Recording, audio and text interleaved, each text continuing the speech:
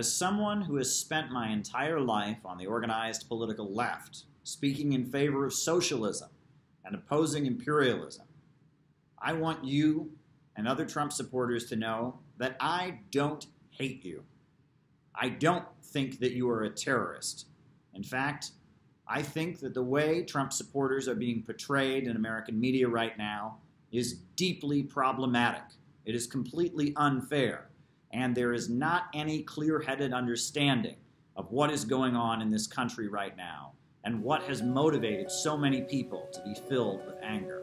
Now, I certainly don't condone what happened on Capitol Hill last Wednesday, but I understand why people are angry and would want to take such actions. Look at the country right now. Amid this pandemic, the working families have been left behind. Our politicians get up and announce more lockdowns and more restrictions with no regard for the fact that America's working families are struggling. With the economy shut down, so much of the aid money that was meant to go to small business owners was gobbled up through loopholes by Amazon and Walmart. Working families have been left behind, while big monopolies and corporations have reaped the benefits. And it didn't just start with the pandemic. Good paying jobs have been eliminated. Roads are crumbling. This whole country and the people of this country have been abandoned by an elite, a ruling class that seems far more interested in its own profits around the world than taking care of the working people of this country the cancel culture atmosphere on the left that says all Trump supporters are Nazis or terrorists or insane or deranged is very, very unsettling and disturbing to me. Furthermore, the proposals coming from Democrats and some Republicans right now are also deeply disturbing. Branding protesters and activists as terrorists is a dangerous, dangerous move on the part of our government to take but it fits in with a whole pattern of our civil liberties being stripped away and a huge police state being imposed by a government that seems to respond to the growing unrest among the population not by listening to the people, but rather by cracking down on them. And while I don't agree with many of the things and most of the things that Ashley Babbitt said, and while I certainly don't condone the actions she engaged in, there is no doubt in my mind that Ashley Babbitt did not deserve to die. The police could have responded to her behavior in a way that did not result in killing her. Her life did not need to be snuffed out in response to whatever she did or is alleged to have done. And the fact that law enforcement would take a woman's life in this situation, kill her, is something that is deeply upsetting. Ashley Babbitt should still be alive, as should George Floyd, as should Michael Brown, as should Oscar Grant, as should Sean Bell. Law enforcement in the United States, the police state apparatus, is completely out of control, and it is a threat to all Americans to see our law enforcement agencies, both local and federal, acting so out of control with such extreme disregard for the lives of the people. It is my concern about how out of control law enforcement is and how much our rights are being stripped away that makes me believe Kamala Harris, our incoming vice president, is one of the most dangerous politicians in American history. Kamala Harris may claim to be a supporter of Black Lives Matter and an advocate for the rights of people against police brutality. But her record as a prosecutor in California is something that should disturb any moral person. She tried to keep an innocent man on death row and prevent DNA evidence from being admitted. She has a whole record of not only destroying the lives of innocent working people, but taking gleeful pleasure in it. And it's because of this that I wrote an entire book exposing Kamala Harris's record as a cruel, heartless, sadistic, and narcissistic person who definitely does not have the interests of America's working families at heart. And while I absolutely condemn the way you have been demonized, the way you are being portrayed, the way you have been harassed, the threats of brutal police state repression coming down on you, I must point out to you what is obvious. Donald Trump betrayed you. Donald Trump left you out to dry. Donald Trump sent you into a death trap.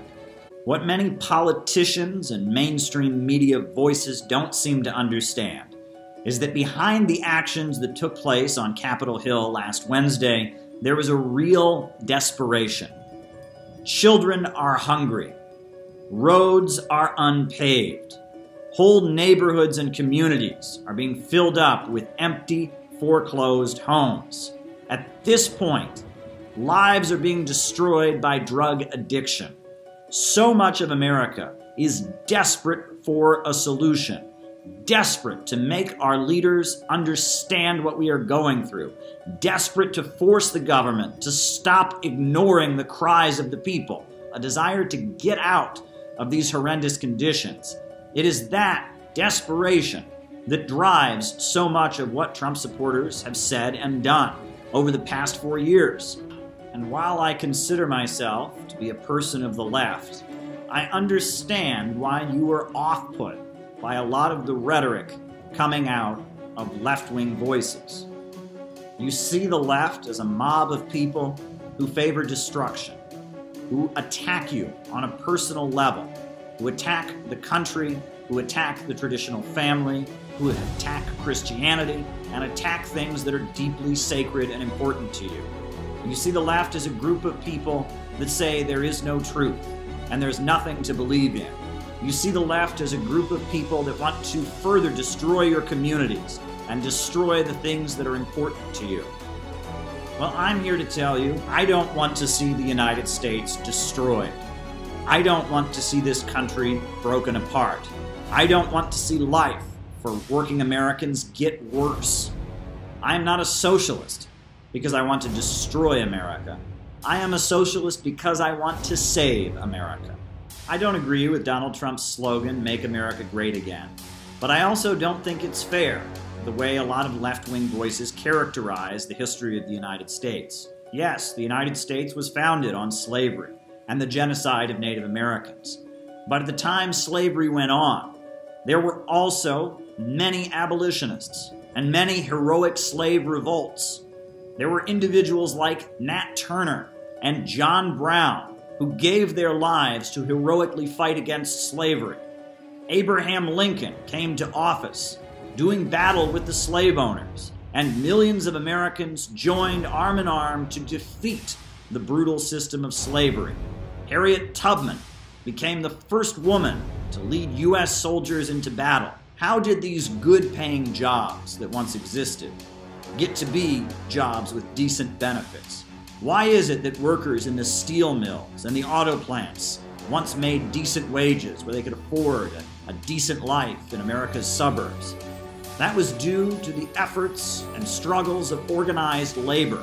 The Flint sit down strike, the strikes of 1934, the efforts of the Wobblies, and the efforts of the Teamsters, and the efforts of so many hardworking, dedicated Americans who loved their country loved their community and loved their families enough to stand up to big corporations and fight for decent wages is what made America once what it was. It is not fair to describe the whole history of the United States as nothing but cruelty and genocide and racism.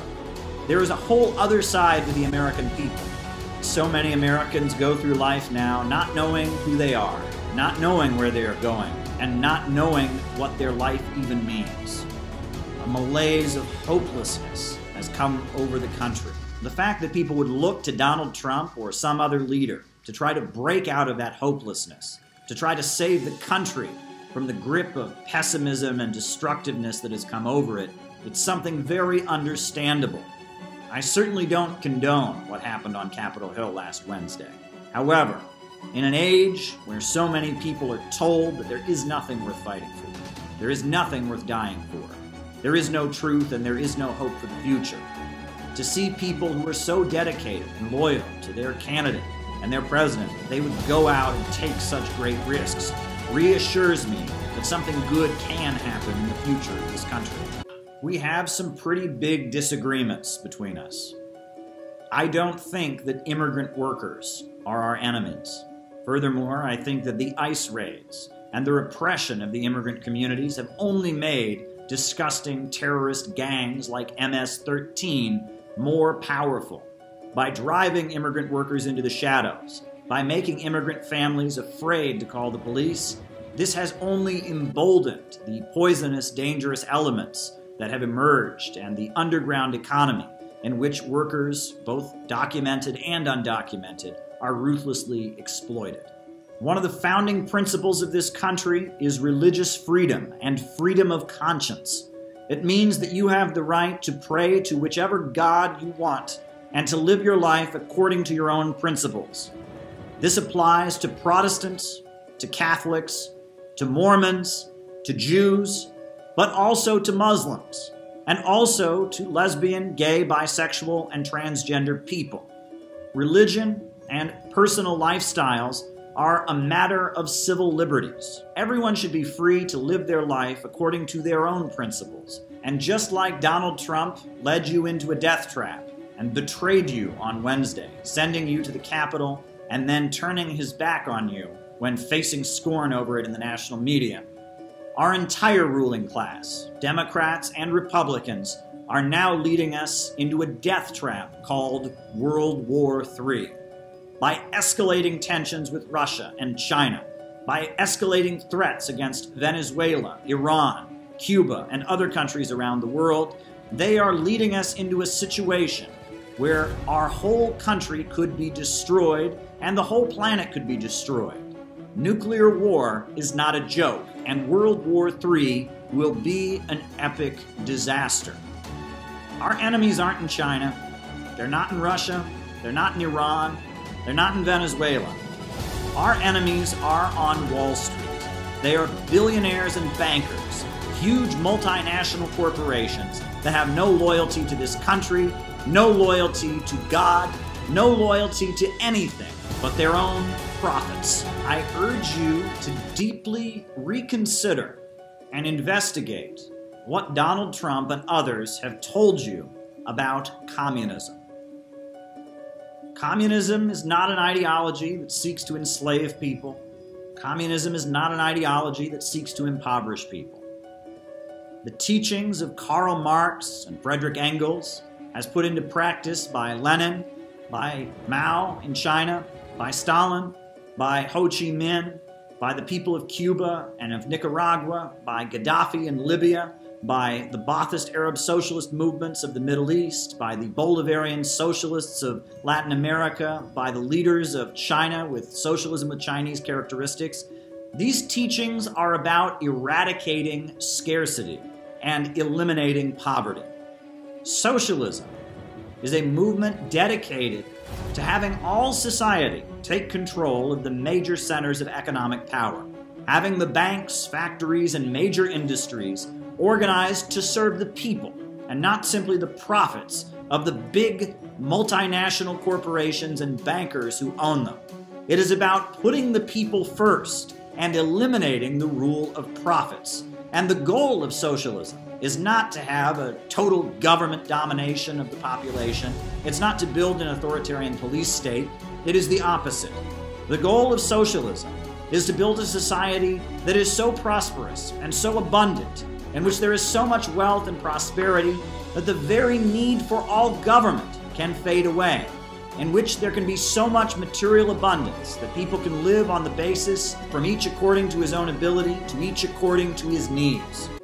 The goal is a world with so much prosperity that we can have a level of freedom far beyond anything ever experienced before in human history.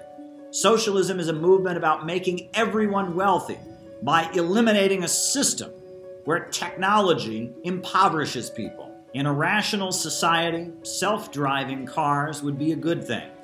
But under our system of capitalism, where people can only live so long as they sell their labor power to a boss, self driving cars would result in mass unemployment and the impoverishment of millions of truck drivers and their families. In systems of the past, people were hungry because there wasn't enough food. But in our system, people go hungry because there is too much food. In our system, people are cold in the winter not because there isn't enough heating gas, but because there is too much heating gas. People become homeless not because there's not enough housing, but because there is too much housing. Capitalism is a deeply irrational system. The more efficient technology becomes, the more wealth is produced, the poorer people get. And this is a system that ultimately needs to be abolished and replaced with something much more rational, in which the needs of the people can be met and the economy can function on the basis of continued growth, not the irrational boom bust cycle of the market. Your community and your family are far too important to be left under the care of an invisible hand, the magic of the market that might just leave you behind or lead you to poverty and destitution. We need a government of action that will make sure Americans are taken care of and organize the economy to serve the people, not the profits of a wealthy few. We need a new America for working families. We need a whole new country where people are treated with kindness and respect and allowed to live up to their full potential by society. That's what we desperately need, and I hope that despite our disagreements, those of you in the Trump movement or previously in the Trump movement will listen to what I have to say and engage with me as we walk down a new road